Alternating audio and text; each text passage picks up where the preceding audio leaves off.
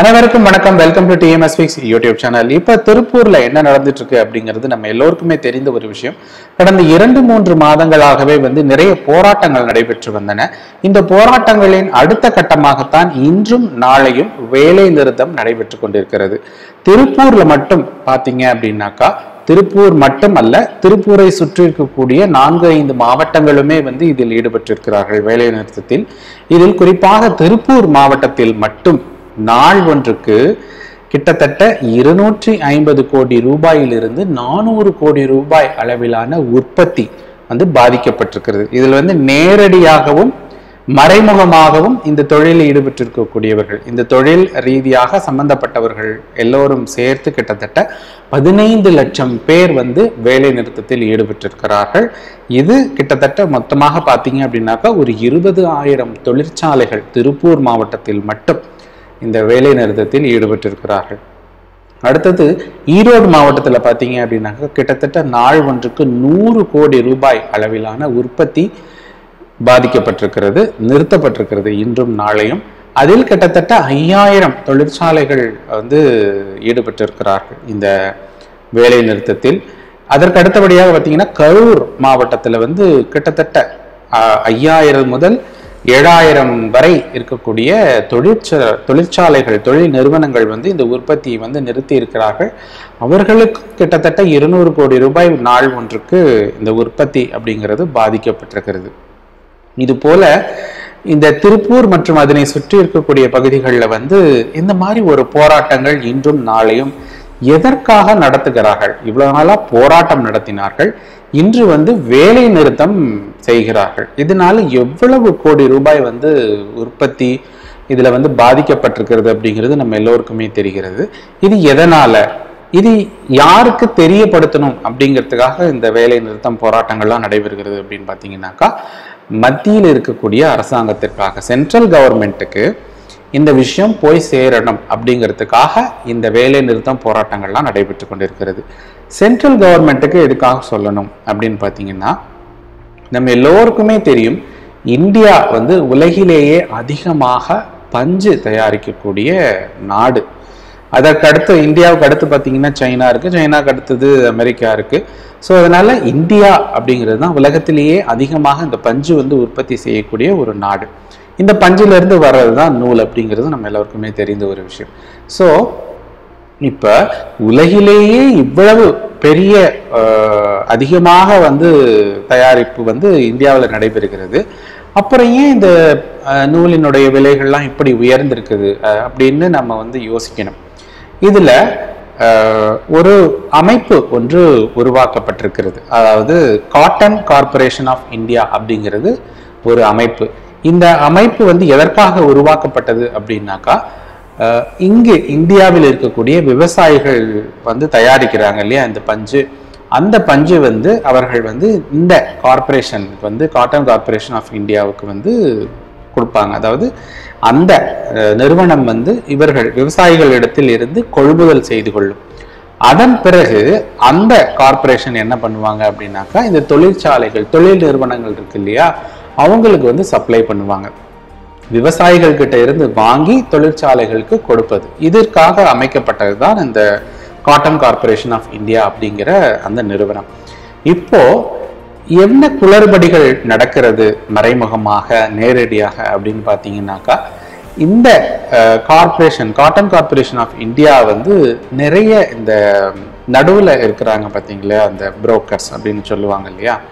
அவங்க வந்து என்ன பண்ணுறாங்க அப்படின்னாக்கா அந்த கார்ப்பரேஷன் சிசிஐ அப்படிங்கிற அந்த நிறுவனத்திலிருந்து வாங்கி பஞ்சு நிறைய டன் டன்னாக வாங்கி அவர்கள் வந்து ஏதோ ஒரு இடத்தில் வந்து பதுக்கி வைத்துக்கிறார்கள் அப்படின்னு சொல்லி அப்போ அது பதுக்கி வச்சாங்க அப்படின்னாக்கா ஆட்டோமேட்டிக்காக என்ன ஆகும் அப்படின்னாக்கா டிமாண்ட் வந்து அதிகமாகும். அப்போ டிமாண்ட் அதிகமாகிறப்போ ஆட்டோமேட்டிக்காக விலையும் ஏறுகிறது. அப்போ வந்து நம்ம நல்ல லாபம் பார்க்கலாம் அப்படிங்கிற நோக்கத்தில் இந்த இடைத்தரகர்கள் வந்து இது போன்ற வேலைகளில் ஈடுபடுகிறார்கள். அந்த வேலையை வந்து இந்த சென்ட்ரல் கவர்மெண்ட் வந்து அதையெல்லாம் க- கண்டுகொண்டு அவற்றை வந்து தடுக்க வேண்டும். இது வந்து ரொம்ப காலமாகவே இந்த மாதிரி ஒரு விஷயம் வந்து நடந்துக்கிட்டே இருக்கு. இதை வந்து தடுத்து நிறுத்த வேண்டும்.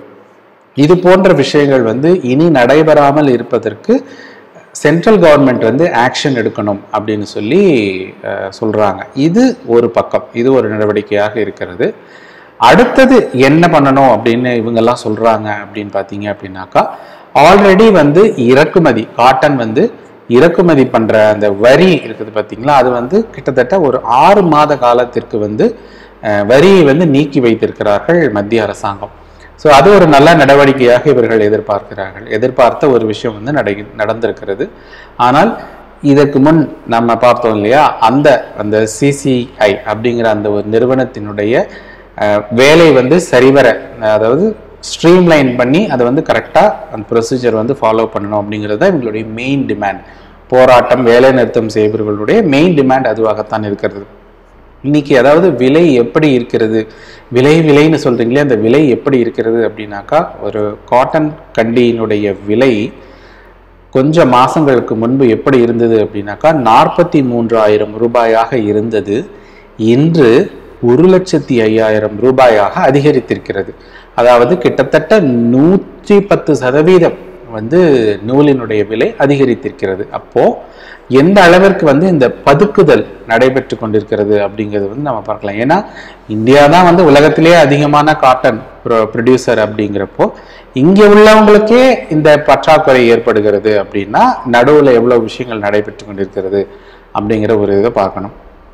இன்னொரு விஷயம் என்ன சொல்றாங்க இந்த போராட்டக்காரர்கள் அப்படின்னாக்கா இந்தியா வந்து இந்த எக்ஸ்போர்ட் பண்ணுறாங்க இல்லையா? ஏற்றுமதி. அந்த ஏற்றுமதியை வந்து சில காலங்களுக்கு நிறுத்தி வைக்க வேண்டும். ஏன்னா இங்கேயே வந்து இவ்வளவு பஞ்சு விலையெல்லாம் உயர்ந்திருக்கும் பொழுது அது வந்து நம்ம அதாவது நம்ம தான் ஃபஸ்ட்டு பெனிஃபிஷரியாக இருக்கணும். நமக்கு அடுத்து தான் வெளிநாட்டவர்கள் வந்து அதில் வந்து லாபம் அடையலாம். ஸோ நமக்கே இங்கே நஷ்டம் ஏற்படுகிறது அப்படிங்கிறப்போ எதுக்காக ஏற்றுமதி பண்ணணும்? நமக்கே தேவைகள் இருக்கிறது. அதனால ஏற்றுமதியை வந்து சில காலங்கள் நிறுத்தி வையுங்கள் அப்படின்னு சொல்லி அதை ஒரு கோரிக்கையாக அவர்கள் வைக்கிறார்கள். இது போன்று பல கோரிக்கைகள் அதாவது இவர்களுக்கு இருக்கக்கூடிய பிரச்சனைகள் என்ன அப்படின்னு சொல்றாங்க.